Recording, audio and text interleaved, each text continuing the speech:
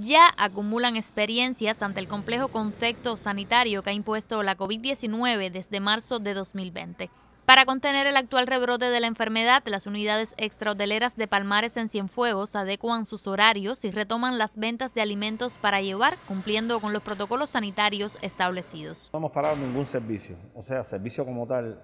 Lo que nosotros eh, hicimos fue reestructurar la operación de cada una de nuestras instalaciones. Todas las que eh, están en función del servicio de alimentos, o sea, sean las cafeterías y los restaurantes, se van a mantener elaborando, pero solo con comida para llevar. Y el resto, entonces lo que hicimos fue reestructurar las ventas en función de las marcas de los productos, o sea, los panes y las bases de pizza, todo lo que sea elaborado en función de, de ese tipo de productos, o sea, panes, dulces, se están vendiendo en Dulcinea, se está vendiendo en La Bolera, se está redistribuyendo por toda la ciudad. Otra realidad que llega con el nuevo año es la tarea ordenamiento y Palmares trabaja en la conformación de los precios de los productos de alta demanda para la población con el objetivo de elevar su eficiencia y prestar un servicio de calidad a sus clientes. Por ejemplo, el comestible se decidió que se iba a mantener el mismo precio, o sea, nosotros vendíamos el comestible en CUC y bueno, su conversión a 1 por 25 en moneda nacional. Ese precio se mantuvo, no, tuvo variación ninguna.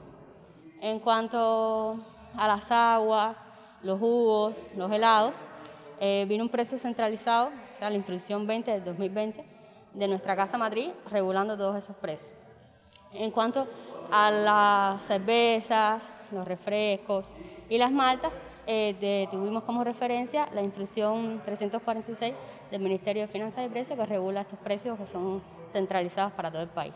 ¿Qué sucede? Nosotros tenemos establecimientos que por su categoría, o sea, las cafeterías, los bares, los restaurantes, eh, a estos productos que tienen precios centralizados, se nos permite solicitar eh, un autorizo a nuestra empresa con precios un poco superiores, ya que es un servicio que se presta. O sea, no es una tienda que usted va y compra el producto, sino que es un servicio que lleva más calidad. Mientras por una parte avanza el proceso de reordenamiento monetario, una tarea indispensable para el desarrollo económico del país, en el territorio sureño detener la evolución del nuevo coronavirus es prioridad.